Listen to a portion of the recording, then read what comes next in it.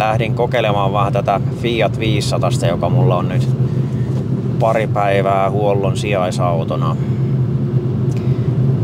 Joo, siitä huollosta voisi sanoa sen verran, että mitä siitä huollosta nyt voisi sanoa? No, tilanne meni vähän siihen, että tapahtui yllättäviä seikkoja, jotka johti sitten siihen, että mulla on nyt tämmönen Fiat 500 alla jonkun aikaa. Mulla oli tosiaan tossa yksi auto koeajossa, sähköauto koeajossa. Ja siinä tapahtui sillä tavalla, että latausluukku ei auennut. Ja mä aika lailla heti tiesin, että mistä siinä on kysymys, koska mulla on itsellä käynyt just samalla lailla saman konsernin autolla. Eli mä omistan ton Peugeot E208, jossa mulla kävi sillä tavalla viime joulukuussa, että latausluukun solenoidi meni rikki. Eli latausluukku ei enää auennu. Siitä ei saanut millään tavalla enää auki. Ja sen piti käyttää sitten huollossa, jossa ne vaihtoi sen solenoidin. Niin tässä eräässä autossa kävi juuri samalla tavalla.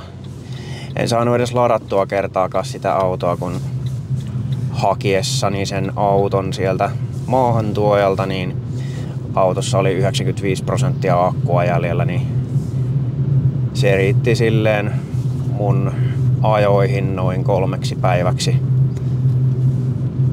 kun mä ajoin sillä autolla ensin sieltä Vantaalta tänne Tampereelle. Ja sitten parisen päivää siinä työmatka-ajoa sen jälkeen. Olin laittamassa vaan AC-lataukseen sitä autoa, niin mitäs ihmettä. Latausluukku ei aukea. Siinä kohtaa oli kyllä vähän semmonen fiilis heti, että ei ole todellista. Tää on sama vika kuin siinä mun E208 oli joulukuussa. No, sitten soitin maahantojan edustajalle ja vähän siinä sitä asiaa puitiin. Tai itse asiassa mä laitoin ensin sähköpostia hänelle.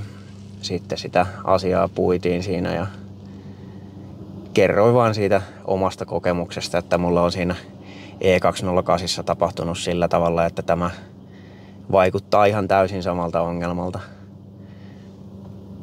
Ja niinhän se sitten olikin. Auto on nyt tuolla huollossa odottamassa auton noutoa. Sille asialle itsessään ei nyt tehdä mitään, että ilmeisesti ne sai sen jotenkin manuaalisesti avattua jotain kautta sen latausportin tai siis sen latausluukun ja käsittääkseni nyt se on sitten auto ladattuna siellä. Yritin tuossa ottaa yhteyksiä äsken siihen huoltoon, mutta sehän ei ole lauantaina tietenkään auki. Niin ajattelin nyt mennä sitten katsomaan sinne, että olisiko se auto nyt sieltä haettavissa vai mikä juttu.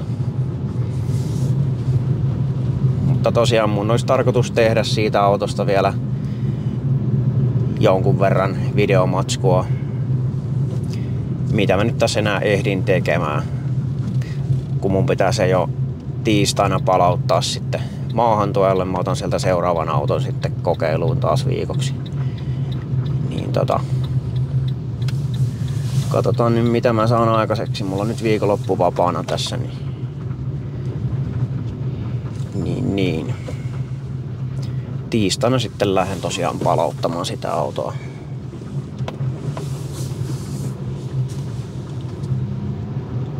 Joo, eli mä ajelen nyt täällä Tampereen ympäristössä uudessa kotikaupungissa, josta kyllä on tykännyt todella paljon.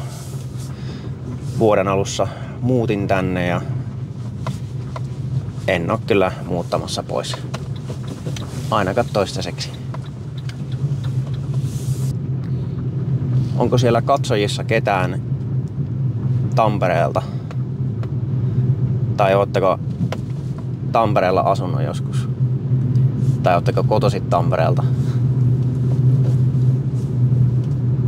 mulla ei ole mitään niistä kokemusta itsellä, että en ole koskaan asunut Tampereella, enkä ole kotosin Tampereelta, enkä ole kotosin Pirkanmaalta edes.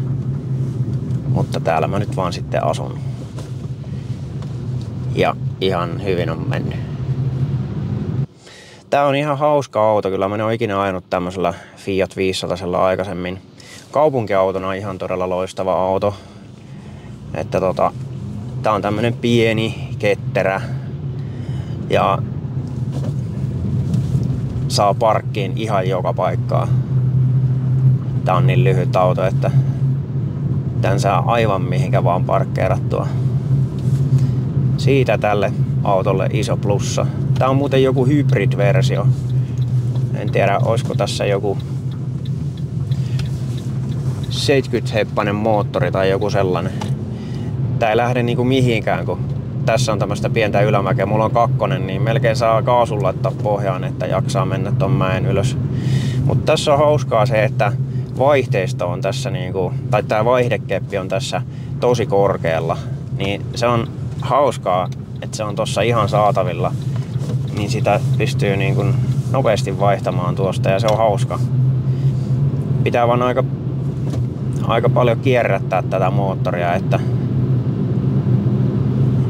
se ei hyydy. Kuusi vaihdetta ja silleen. Tosi hauska auto. Motorilla tää on kyllä aivan jäätävä. Alkoi pelottamaan kun ajoin motorilla. Eilen kun on pikkupätkä töihin mennessä, niin motoria, niin tota, on kyllä melko kiikkerä motorilla tää auto. Ja sille oikeasti pelottaa ja näin pienellä autolla motorilla. Mullahan oli itellä tuossa muutama vuosi sitten Renault Twingo. Se oli tosi hauska auto myös niin kuin ajaa tolleen tota, kaupunkiolosuhteissa. Mutta siinä oli ihan sama ongelma kuin tässä autossa, että se oli todella pelottava ajaa motorilla, jos ajoi satasta.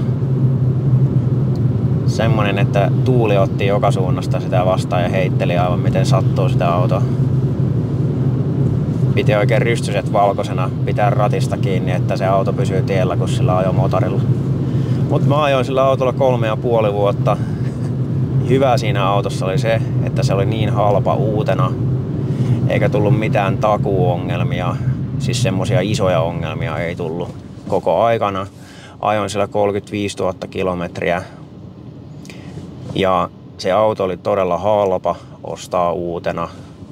Olisikohan se ollut joku noin 11 000 euroa uutena se auto. Ja mä sain siitä kolme ja puolen vuoden jälkeen 6 000 euroa, kun mä myin sen. Eli aika hyvä tuo arvon alenema oli siinä autossa. Tai siis aika pieni arvon alenema. Että en ole kyllä millään uudella autolla vielä ajanut, jossa olisi niin pieni arvon alenema ollut. Että siinä mielessä se oli kyllä järkevä auto. Ja myös toi kaskovakuutus oli tosi pieni, kun se auto oli niin kevyt ja silleen. En tiedä mikä siihen sitten vaikutti, mutta kuitenkin. Olisiko se se moottori sitten vaikuttanut myös siihen vakuutuksen määrään ehkä. Siinä oli joku 70 hevosvoimainen moottori myös, niin kuin tässäkin autossa. Siinä oli vain viisi vaihdetta, tässä on kuusi. Tää on vielä jonkin verran pienempi kuin se Twingo. Twingossahan oli kuitenkin neljä ovea. Tässä on vaan kaksi ovea. Vai miten se sanotaan? Kolme ovea, jos otetaan takaluukku huomioon. Ja siinä Twingossa oli viisi ovea, jos takaluukku otetaan huomioon.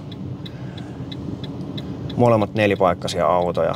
Mutta tässä autossa on kyllä se, että en tiedä kuka oikeasti tuolla takapenkillä pystyy istumaan katoin vaan eilen, että juu, no, ehkä siellä joku pikkulapsi voisi istua. Mutta ei ehkä aikuinen. En tiedä mahtuisinko minäkään sinne taakse edes. Pitää muuten koittaa hetken päästä. Mä ajan tässä vaan ihan pikkupätkä ja sitten katton siellä autohuollossa, että tietäisikö joku siitä autosta jotain, että saisiko se nyt sitten ottaa sieltä ajoon vai pitääkö mun palata asiaan maanantaina, kun siellä ei tosiaan huollossa ole ketään töissä tänään. käsittääkseni. Niin menee sitten myynnin puolelta toi asian selvittely. Katokaa, Tampereella on ratikka. Uh, alright. Katsotaanpas mihin mä menen täältä. Koiviston kylä, öö. Hetkinen. Mietitäänpäs nyt. Menenkö mä Koiviston kylään? Joo, mennäänpä Koiviston kylään.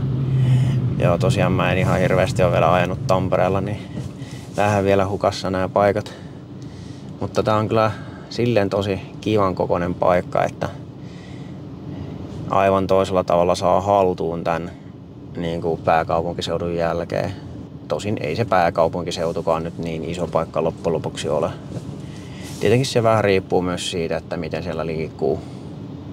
Mulla nyt oli se työ sitten semmoista, että mä kuljen siellä joka suunnassa koko ajan, niin tavallaan se sitten tuli kyllä tutuksi aika nopeasti. Se koko alue kaikki näin. Mutta tämä Tampere on tosi kiva siitä, että kaikki on lähellä. Tämä on hauska, kun tällä autolla lähtee valoista liikkeelle, niin saa löydä melkeinpä lämän tiskin, että saa tehot autosta irti. Niin tota, ja sitten heti vaihtaa vaihdetta. Tämä on kyllä hauska tämä manuaalivaihteesta. Siis tässä just kun se on tuossa hyvällä korkeudella mun mielestä. Ootteko itse ajanut koskaan Fiat 500 Jos ootte, niin mitä tykkäsitte? Mun mielestä tämä on tosi hauska auto. Kun tälle autolle tulee, niin kun kävelee tätä autoa kohti, että no niin lähempä liikenteeseen, niin heti alkaa hymyilyttämään, että jes, nyt pääsee ajamaan. Tosin siinä on sitten taas se, että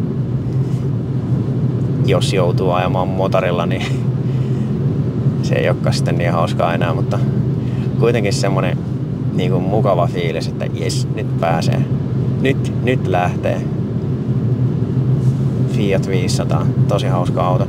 En tiedä mitä toi hybridi-juttu tässä nyt vaikuttaa sitten loppujen lopuksi kulutukseen, kun mä oon nyt ajanut tässä tällaista omaa tyypillistä ajoa, niin pätkää ajoa kolme päivää suunnilleen, niin aina kylmällä autolla liikenteeseen tietenkin ilman mitään lämmityksiä ja sille, niin, niin kuin mä aina teen autoilla, niin tuota, toi kulutus on kyllä aika korkea siihen nähden. Mä oon niillä Jariksilla ajanut jonkun verran hybridijariksilla. Mulla oli semmonen pari vuotta sitten uuden auton odotusautona. Olisiko se ollut jonkun ehkä kolme viikkoa mulla ajossa semmonen Jaris Hybridi, olisiko se ollut 2022 vuosimallia. Sillä tuli ajettua silleen muutamia satoja kilometrejä. Niin mä tykkäsin siitä autosta kyllä aika paljon ja silleen ihan kiva noin kaupunkiautona pääasiassa. Sitten kun sillä lähti motorille, niin siinä oli vähän sama, että aika jäätävä melu ja semmonen no vähän ehkä kiikkerän olonen. Ei nyt todellakaan siis niin kiikkerä kuin tämä auto, mutta vähän silleen niin kuin oli tota, jännä se motorikokemus sillä autolla. Niin tosiaan siitä kulutuksesta piti sanoa. Jariksessa kulutus oli siellä jotain viiden litran paikkeilla vähän yli per 100 kilometriä syksyllä, kun mä ajoin sillä 2022. Niin tässä autossa nyt keskikulutus, siis todella lyhyellä pätkällä, mitä mä oon nyt täällä ajanut, olisiko joku 30 kilometriä tai mitä mulla on tässä tullut, katsotaan tosta hetken päästä, niin kuitenkin tämmöisellä ajolla muutaman asteen pakkasella ja nyt on sitten ollut tänään tämmönen vesikeli.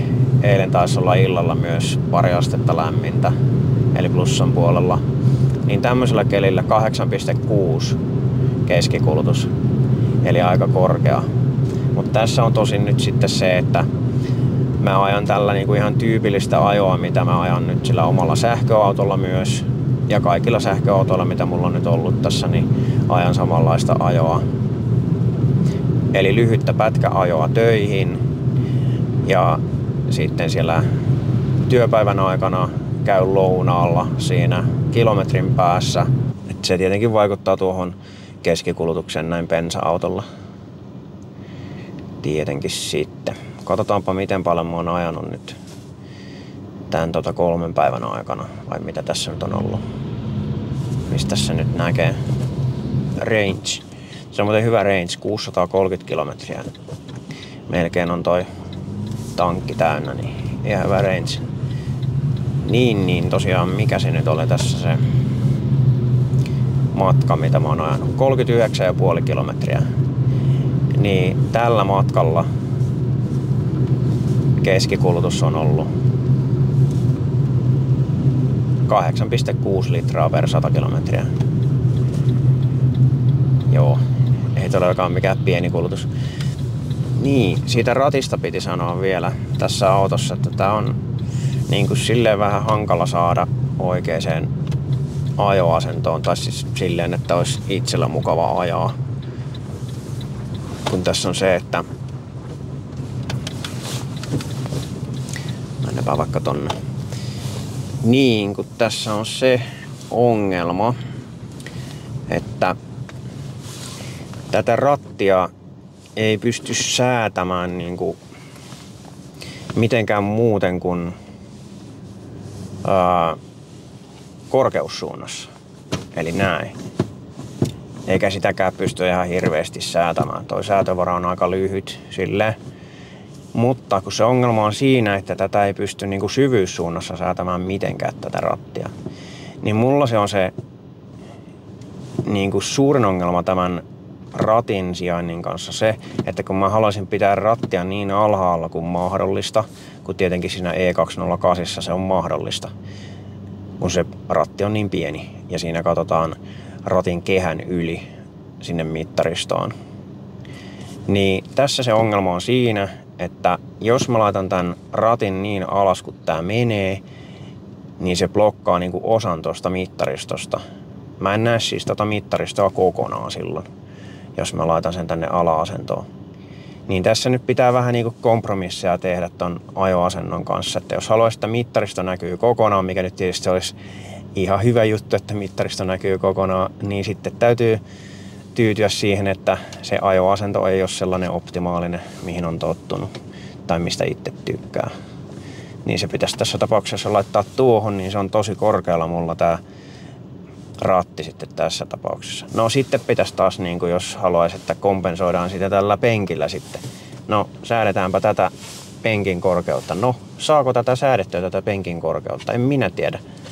Itse asiassa tässä on tämä selkänojan säätö. Mä en edes tiedä saako tätä korkeutta säädettyä. Katsotaanpa huvikseen muuta.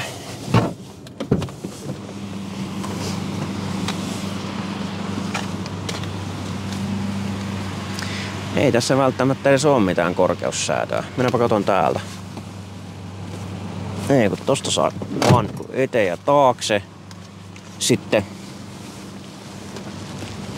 ei tässä ole vissiin mitään korkeussäätöä. Tässä on ainoastaan tää niinku selkänojan kallistuksen säätö. Niin tää on vähän ikävä piirre tässä autossa. Mutta toisaalta puhutaan aika edullisen tason autosta kuitenkin. Mä en tiedä oikein minkä verran nämä maksaa uutena, mutta olisiko joku parikymppiä. Mutta se on kyllä mun mielestä aika paljon tästä autosta. No, anyway. Tässä ei vissiin saa säädettyä tätä penkin korkeutta mitenkään. Se on vähän kyllä ikävä piirre. Joo, hybridi. Hmm. Aika kova kulutus. Ehkä se kulutus olisi pienempi, jos ajaisi enemmän tuommoista maantieajoa sitten. Tosin sehän on kaikilla autolla sama. Joo, eli tosta niinku tuota penkkiä aika eteen noin. Mutta sitten tää jää kyllä ikävän korkealle mulle, tää ratti. Tällaisilla ajatuksilla tänään ja en tiedä miten tää kahden kameran setti toimii, mutta tulipa nyt kokeiltua tätäkin sitten. Fiat 500, ihan jees auto, kaupunkiautona hybridistä nyt ei mitään kärryä, auttaako se oikeasti mitään tuohon kulutukseen. En ole tavallista 500 ajanut ikinä, enkä mitään muutakaan 500. Tästähän on nimittäin semmoinen sähköversiokin olemassa. Sitä en ole ajanut. Senhän voisi ehkä joskus kokeilla huvikseen, mutta sillä en kyllä lähde ajamaan mitään tommosia pitkiä matkoja Vantaalta Tampereelle ja Tampereelta Vantaalle, niin en varmasti. Et se on se ajatuskin siitä, että pitäisi noin kiikkerillä autolla lähteä niin pitkää matkaa motorilla ajamaan, niin ei kiinnosta. Mutta tuota niin, toisaalta ei se välttämättä ole näin kiikkerä auto, koska se on aika paljon painavampi, luulisin. On se nyt varmaan ehkä parisataa kiloa ainakin painavampi niiden akkujen vuoksi. Niin tota, silleen se voi olla kyllä vähän vakaampikin kuin tämä ja todennäköisesti onkin vakaampi auto kuin tämä. Joskus jos jonkun lyhyen koeajon tekisi siitä, niin voisi käydä kokeilemassa sitä autoa. Tästä vielä vähän sisätiloista tarkemmin. Tää on tämmöistä kovaa muovia, niin kuin jääkaapissa. Joo. Täällä on myös kovaa muovia. Joka paikassa oikeastaan kovaa muovia. Täällä myös. Ne on ihan hauskat nämä oven kahvat. Hyvät kyllä. Täällä on sitten tämmöistä pehmeitä kangasta. Se on ihan kiva, kun pitää kättä tossa. Niin se on ihan mukava. Joo, mitäs muuta? Tosiaan tuosta ratista tulikin jo sanottua ja myös vaihdekepistä. No sitten jos haluaisi mennä tonne takapenkille, se onnistuisi silleen, että siirtää ton penkin niin eteen kuin se menee. Ja sitten tässä on tällainen. Näin. Kyllä tänne nyt varmaan mahtuu kuin istumaan, mutta eihän tossa nyt kukaan pysty ajamaan sitten, jos tänne menee istumaan taakse. Tietenkin mä nyt voisin vähän laittaa sitä silleen niin kuin periaatteessa näin. Niin kuin mun ajoasentoon näin. Eli mulla on tosi lyhyet jalat, niin tää on tosi edessä tää mun ajoasento. Niin. Tällaisenään tänne taakse ei jää juuri mitään tilaa, mutta mitä ihmettä. Meneekö se niinku... Miksi se niinku menee tolleen toi? Ai, se menee jotenkin noin, että se pitää... Katsotaanpa nyt. Eli kun tää nyt lukittuu tähän tää ajoasento näin. Okei, tää on nyt vähän liian takana. Laitetaanpa vähän eteenpäin. No niin, eli nyt se on niinku lukittuneena tuo penkki. Niin, katsotaanpa, että lähteekö se lukitus niinku auki sillä, kun mä avaan tämän ja siirrän. Joo, siis se lukitus lähtee auki kokonaan, kun tämän, tätä vetää ta, tonne niinku eteenpäin. Mutta sitten tämä penkki ei mene kuitenkaan taaksepäin tästä, kun lykkää. Eli se jää lukkoon sitten taas tohon asentoon. No, tällä nyt tietenkin helpotetaan sitä, että tänne penkille ylipäätään pääsee tästä oviaukosta, joka on siis todella kapea myös silloin, kun tämä penkki on niin edessä kuin se menee. Eli tonne jää vaan tommonen tila. Tota, kyllä mä nyt tästä ehkä justiin mahdun, mutta tota ei sitten saa tota... Joo, kyllä mä tänne mahdun taakse istumaan. Mutta tossa on se vaan, että kun nyt ei tiedä yhtään, että miten takana se on oikeasti toi penkki silloin, kun tuossa joku ajaa tota autoa.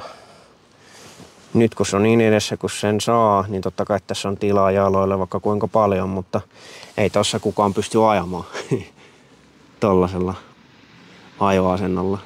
Ei siihen mahdu kukaan noin. Mä en pysty täältä nyt sitä tekemään, kun mä en ylety tonne. Joo, mutta siis sanoisin, että pikkulapsille tämä takapenkki tässä autossa. Ja tuota, mitäs tässä muuta? Tosiaan kaksipaikkainen. Eli täällä on kuitenkin nää sitten. Näin. Kaksipaikkainen takapenkki. Ja tuota, mitä tästä nyt sanois? No, pää osuu melkein kattoon mullakin. Tai itse asiassa pää osuu kattoon minulla, vaikka mä oon todella lyhyt. Eli ei täällä aikoinen pysty matkustamaan juurikaan. No, toi nyt ensimmäisen, että mahtuuko täällä edes istumaan. Todennäköisesti ei. No, mutta joo, lapsien takapenkki. Tosta noin. Ja...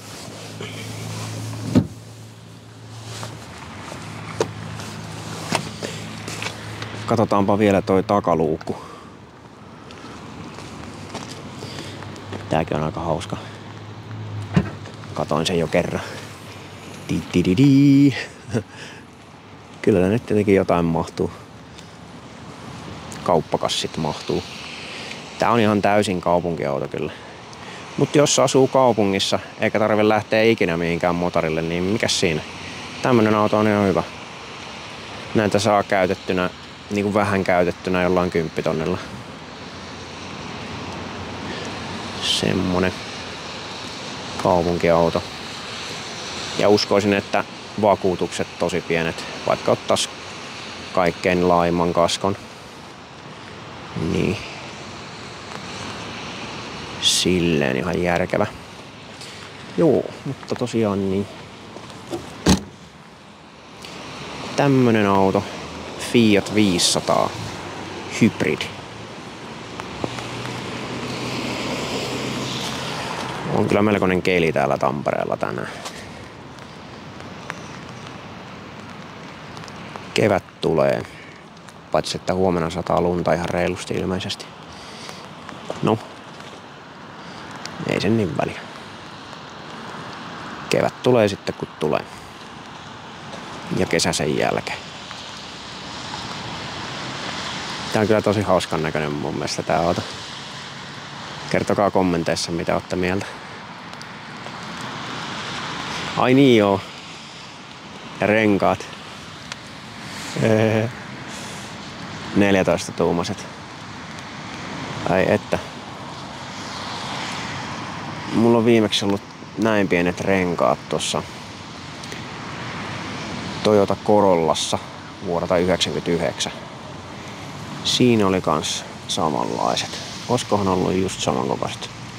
175 65 R14. Ehkä. Saatto olla. Joo, ihan hauska auto kyllä. niin joo, edestä tämän näköinen. Kivan näköinen kyllä.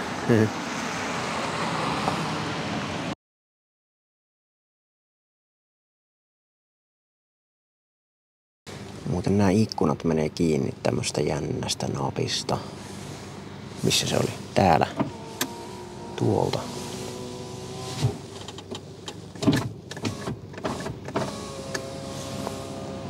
Niin tolleen kun pitää pitkään pohjassa, niin se menee automaattisesti ja sitten noin. Tuosta mä en tiedä mikä tää on. Tää on joku city. Tuo tulee tommonen joku city juttu kun pannaan tosta. En tiedä. Olisiko vähän joku niinku ekomoodi tai sillä. Bluetooth toimii ihan hyvin. Ja poppivehkeet ihan ok. Ei nyt mitkään parhaat tietenkään, mutta ihan ok. Manuaaliset jutut kaikki. Tykkään kyllä. Vaihdekeppi ehkä parasta tässä autossa.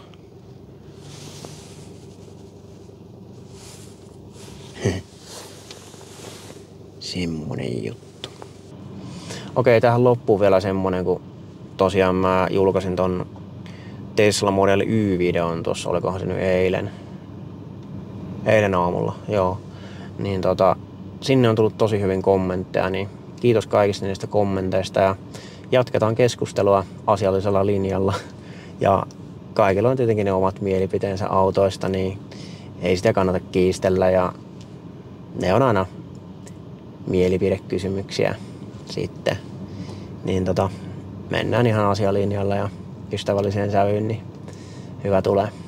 Mitä mä oon nyt ajatellut, niin mä oon menossa varmaankin ihan lähiaikoina nyt kokeilemaan sitten sitä Mersun C-sarjalaista, mistä mä tein ton videonkin aikaisemmin. Semmonen vlogi, missä mä puhuin sitä aiheesta. Laitan sen tohon linkkinä Voitte katsoa se video, jos ette ole kattonut. Mulla on aika pitkä kokemus tosiaan sen mallisesta autosta. Niin ajattelin, että kävis nyt vuosien jälkeen kokeilemassa sitä, että miltä se tuntuu tällä hetkellä. Niin, niin. Mulla oli vähän ajatuksena, että jos se auto on hyvä, niin saattaa jopa olla, että mä ostan sen auton. Ja tekisin siitä sitten sisältöä tänne YouTubeen. Vertailisin kaikkia autoja siihen sitten. En tiedä, onko hyvä idea vai huono idea, mutta semmonen mulla on ajatuksena. Mutta mä en tietenkään sano sitä, että mä tulen ostamaan sen auton, jos se ei olekaan hyvä. En mä tietenkään sitä silloin osta. Mutta niin, tämmöisillä ajatuksilla kuitenkin eteenpäin. Ja tietenkin toi, että käytetyissä autoissa se vaikuttaa niin paljon, että missä sillä autolla on ajettu. Että ne yksilökohtaiset erot voi olla tosi suuria eri yksilöiden välillä. Niin mä ajattelinkin, että aion katsoa samanlaisia autoja muutaman kappaleen, joita mä kävisin sitten kokeilemassa. Saisi semmoista peruskuvaa sitten niistä autoista, että onko ne niinku, miten erilaisia kunnoltaan toisiinsa nähden. Eli se hintaluokka on siellä jossain noin 20 000 euroa, mitä mä oon ajatellut. Se auto voisi olla silloin joku 2016, 2017, 2018 vuosimalli. Ja neliveto on niin kuin kiikarissa, että takavetosta autoa en osta. Siitä oli niin huonoja kokemuksia mulla työkäytössä, että jäi muutamia kertoja vähän pinkkaan kiinni sillä autolla. Niin sen takia neliveto ja sitten mieluummin kaikki mahdolliset varusteet, mitä siihen autoon on saatavilla. Erityisesti mua kiinnostaa HUD-näyttö se olisi ihan must siinä autossa kyllä. Joo, mutta tämmöisillä ajatuksilla eteenpäin, niin palataan taas seuraavalla videolla ja tilatkaa ihmeessä kanava, jos ette ole vielä tilannut ja jättäkää kommenttia kommenttiosioon ja peukkua, jos tykkäsitte tai ette tykännyt. Kaikki kommentointi on edelleen tervetullutta. Kiitos kaikille ja me nähdään seuraavassa videossa. Moikka!